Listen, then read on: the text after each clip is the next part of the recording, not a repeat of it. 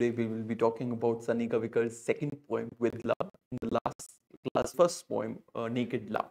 I am Archit Nanda, Assistant Professor at Keshav Mahavidyalaya, University of Delhi. So first we will begin with a reading of the poem and after uh, reading the poem we will unpack the various metaphors, images and ideas that are packed in this poem. So the poem is With Love. Mercy, dear, do not flatter black as seven charms and might of tempest. When blacks are being hacked, humiliated, hounded out, despite songs of praise and from poets and time, mercy, dear, do not flatter black as seven charms and might of tempest.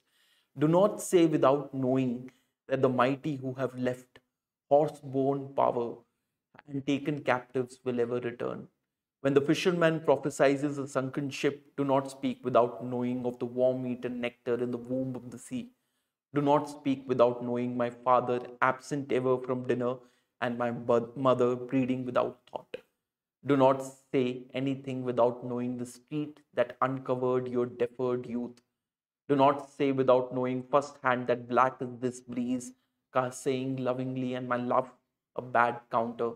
Mercy, dear, do not say anything without knowing of the blood falling on the ground when my black sister, tired of puffing at the fire, pines as a lover and turns into dust as mother. Well, let's first begin with the irony of the title itself. The title of the poem is With Love, and it is addressed in the form of a letter to a person named Mercy. The title seems like a letter addressed to a person named Mercy, and it's signed off as With Love. Like we'll sign off letters at the bottom, we write With Love as a salutation, that's exactly the title of the poem. So a kind of an, uh, a long monologue addressed or a letter form addressed to Mercy. However, while the poem uses the conventional form of address, it is not a poem about love. Even though it, the title is with love, it is a poem that primarily is anti-romantic. It is essentially an anti-romantic poem that seeks to question the romanticization of Dalit lives as well as the denial of love that they experience in their everyday lives. The poem at the beginning, in the very premise, questions the songs, the myths, and the folklore associated with the fishermen community and with the larger Dalit community that glorifies and, in a way, presents them in glorious light. So, uh, let's just look at the first paragraph of the poem. Mercy, dear, do not flatter black as seven charms and might of tempest. In the traditional folklore, you know, the Dalit community is presented as, and especially the localized fisher community that uh, Kavikkad is talking about, is presented as possessing charms as well as the power of the tempest. So they have certain kinds of uh, supernatural powers and they possess the resilience and the might of a tempest. And the core of Sunny Kavikkad's poem is to cry against this kind of imagery. He begins by saying, Do not flatter black. The core of the poem is a cry against the word flattery. A flattery is a form of excessive praise that is embodied in the myth, songs, and folklore of these people. So the poet addresses mercy not to flatter people, to tell them uh, realistically what their lives are rather than glorifying it and presenting them as heroic figures. The songs and tales mythologize the community as the possessor of great charms and the power of a mighty tempest. It is this mythological representation and supernatural image that the poet speaks to break up by emphasizing the natural and the realistic uh, description of their lives, by telling us how they live their lives in everyday environment rather than the tales of heroism that are associated with the community. It is a plea the entire poem is a plea against romanticizing their hard existence. So, you know, if the first stanza of the poem offers a, a, a, a beginning where a poet uh, asks you to negate, to do not flatter black. So the first point stanza tells you to negate the experience, to, to negate the kind of mythology that is associated with the community. Whereas the second stanza offers a counter description of the community a counter description of how their ordinary everyday lives are. When blacks are being hacked humiliated, haunted out, despite songs of praise from poets and time. The word black in turn acquires multiple connotations in this poem, especially in this stanza. In the first stanza, the black is written with a small b and is linked with seven charms and the power of the tempest uh, that are uh, you know that that are described in the folklore of the community. Whereas in the second stanza black appears with the capital letter and describes the real condition of the people. While the first stanza urges mercy not to flatter people with heroic songs the second stanza describes the realistic conditions of blacks as they do not have the might of tempest or seven charms but in reality are hacked humiliated and hounded out by powerful people. And even if, though we have been singing these songs of praise, these glorified images of people for a long time, it has not changed their actual condition. And even after songs of praise that have been sung in the community over time, condition of depravity, subservience, and pain has not altered over time. So the poet urges us to look at the condition as it is, to describe it realistically, to not revel in mythological creations of our own mind, look at reality and present it as it is. And this is the reality of the blacks. They're being hacked, humiliated, and hounded. In other words, while the first stanza challenges the romanticization of their life, the second stanza offers a counter description of pain and suffering that characterizes their existence.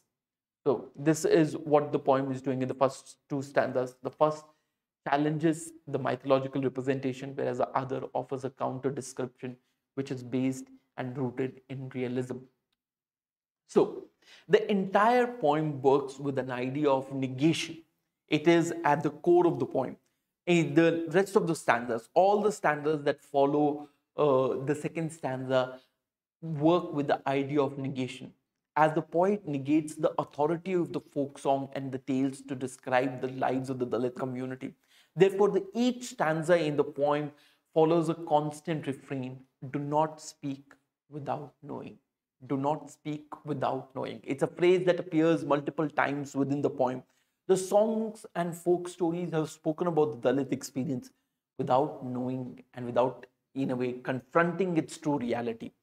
They've tried to shy away from the true reality to romanticize their existence. And the point wants to negate the superficial, superficial description of mythical tales and replace it with the reality of their experiences. The poem marks a shift from the collective myth mythical consciousness embodied in songs and folklore to a much more realistic description of individual struggles that they have to face in their everyday lives. So this negation of their uh, everyday existence is what the poet sees in the uh, in their folklore, and in, he in turn negates that folklore and constantly, you know, emphasizes the importance of knowledge and experience. So this idea of to know personally what has an individual or a community has experienced is essential to be able to write about them to be able to narrate and describe their experience. So the poet continues Do not speak without knowing my father, absent ever from dinner, and my mother breeding without thought. In the last lecture, we had spoken about the immense importance of realism in Dalit literature and its narrative stories and poems.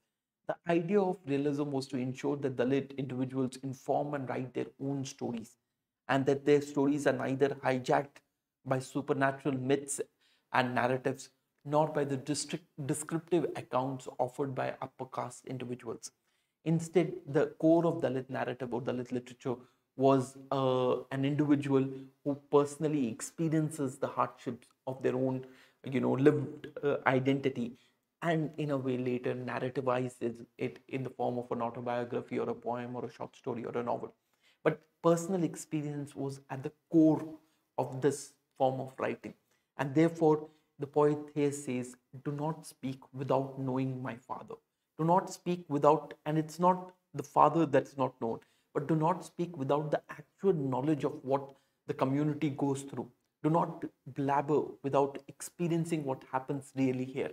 And the rest of the poem is a series of images that are experienced by the poet specifically, but are uh, can be replicated uh, in the Dalit experience. And the poet wants us to know them personally before we engage with them intellectually uh, or aesthetically. So the, uh, the idea of realism here gains importance over the idea of uh, fantasy creation and world building in the mind. And in that sense, it, it seems that poet is reminding Mercy to speak with and through her experience.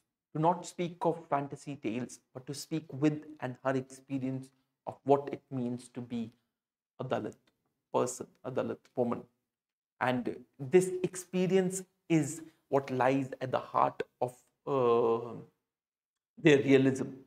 So, in the next few stanzas, the poet creates a collage of realistic images that attempt to challenge and break the shackles of mysticism and glory that have been built through folklores and tales. We will look at each of these image individually and try to unpack what the poet is trying to say. Do not speak without knowing my father, absent ever from dinner, and my mother breeding without thought. The first image is that of a constantly absent father and a mother who is constantly giving birth to more and more children. While the father refuses to take up the responsibility of the household, he is still in some ways engaging in uh, sexual promiscuity with the mother, and which leads to innumerable children. And there is at the core of what uh, this image embodies is the image of a broken household. It is an image of a broken household that is surviving at the margins of the society. This is what the Dalit experiences. Not mighty tempest, not seven charms, but people struggling to survive at the margins of the society. In the next stanza, it goes on Do not say anything without knowing the street that uncovered your deferred youth. In the next stanza, the poet directly addresses mercy and claims that you should not say anything without knowing, and in this case, without remembering the streets that deferred your youth. She, in some ways, it seems, at least it's hinted in the stanza, could not blossom into a young woman because of the harrowing experiences of her life. And her tale should be a reflection of her own experience rather than extravagant, uh, you know, narratives that revel in fantastical achievements of the community. So he's saying, do not talk about big things. Just come to your own experience and tell us. Do not speak about other things. Tell us about your own life how your youth was denied to you and how the streets denied your youth. And this pattern continues uh, in the next few stanzas also. But it acquires a unifying pattern, a unifying uh, theme in the next three stanzas, and we will look at them. And this unifying theme is about deferred youth and denied love. All the three, there are three characters that appear in three different stanzas, and they're all denied their youth and denied love in their life. So let us, uh, the first we have spoken about mercy, but let's just look at these three stanzas together and then we can focus on each one of them.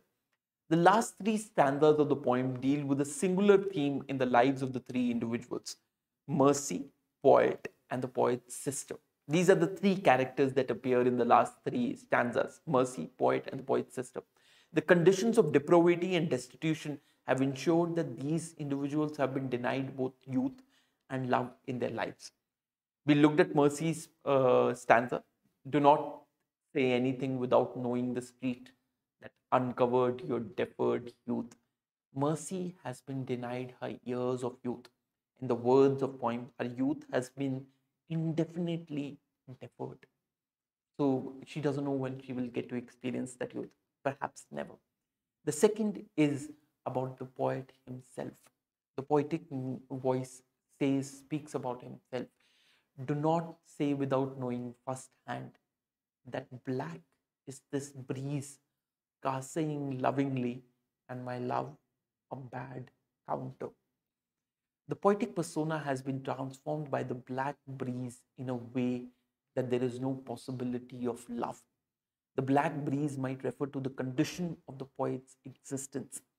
The poet describes, so, you know, we, we have constantly encountered the word black not only in this poem but in the previous poem of Sunny Kavikkad.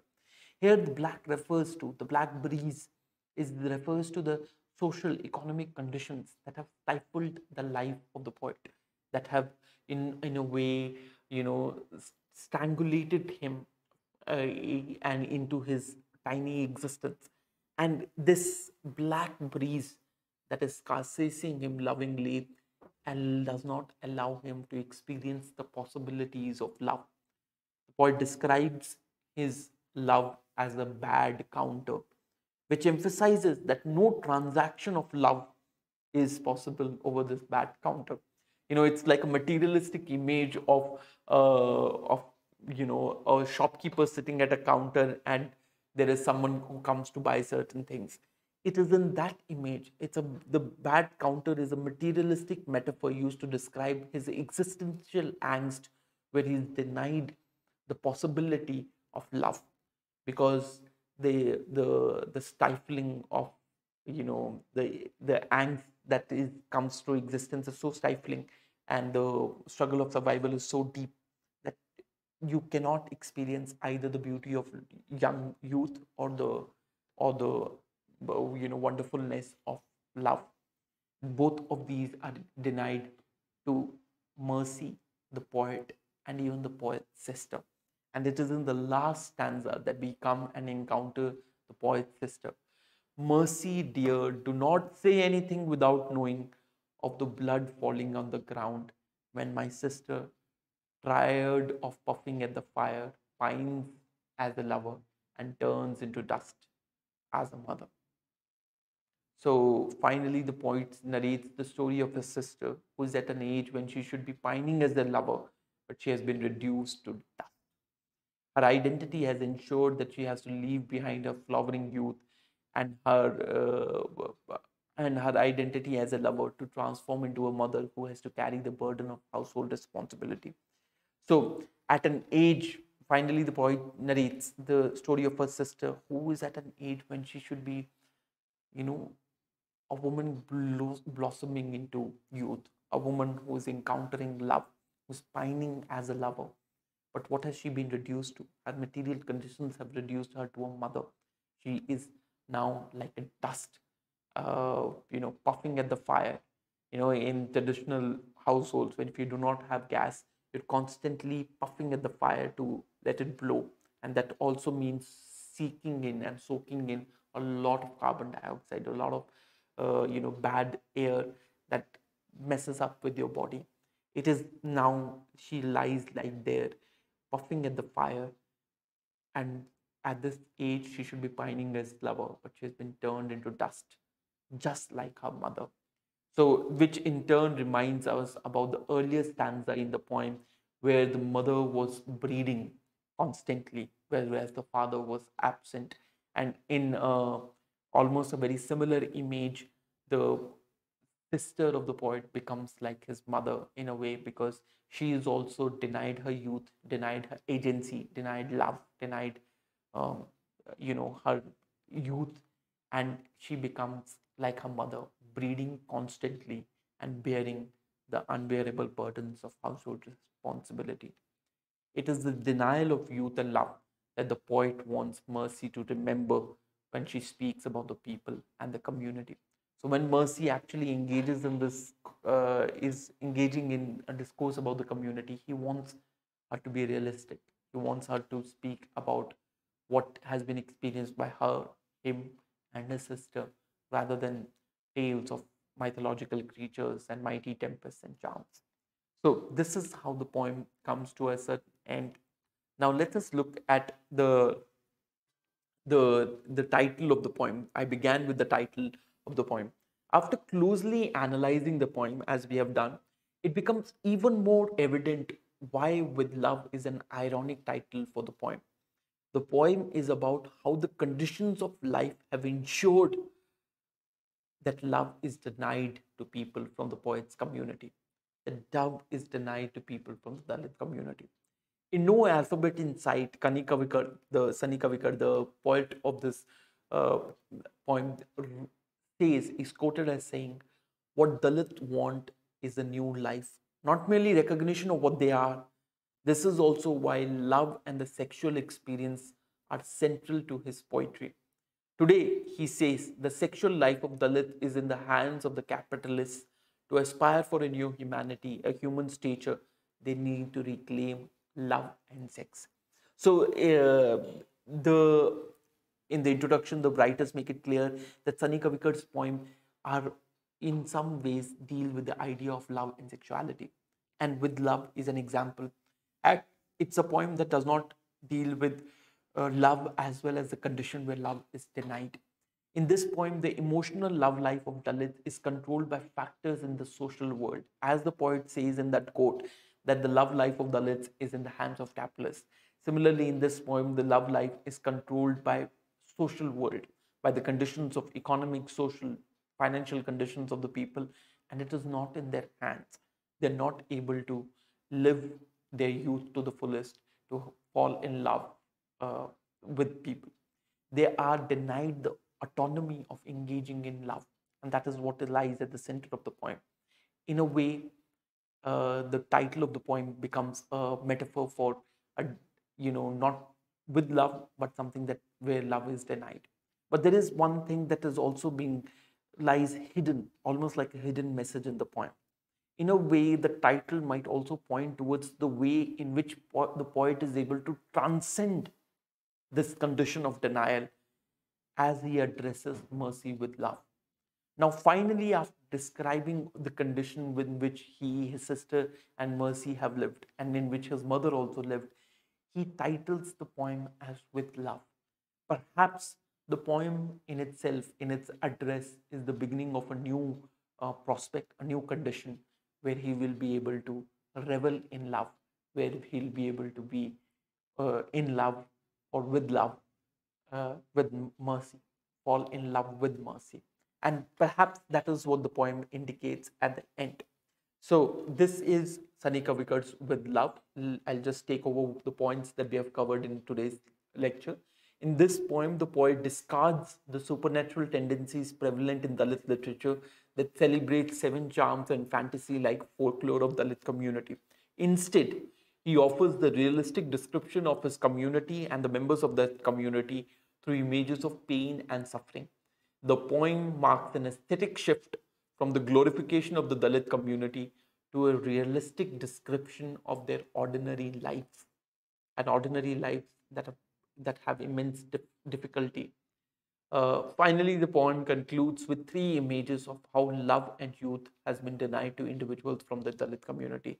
And the three images are that of the poet, the poet's sister, and Mercy, the woman who is being addressed in the poem. So the this lecture referred to two primary readings. One was the introduction to No Alphabet in Sight, New Dalit Writings from South India, by edited by Susie Tharu and K. Satyanarayana, and Pramod Nayar's essay Dalit Poetry and the Aesthetics of uh, uh, Traumatic Materialism. Thank you, and I will see you in the next lecture.